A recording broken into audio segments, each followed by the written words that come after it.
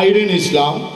আজীবন সদস্য আইরিন ইসলামকে আমরা ধন্যবাদ জানাচ্ছি উপস্থিত হয়েছেন আমাদের পরিকল্পনা বিষয়ক সম্পাদক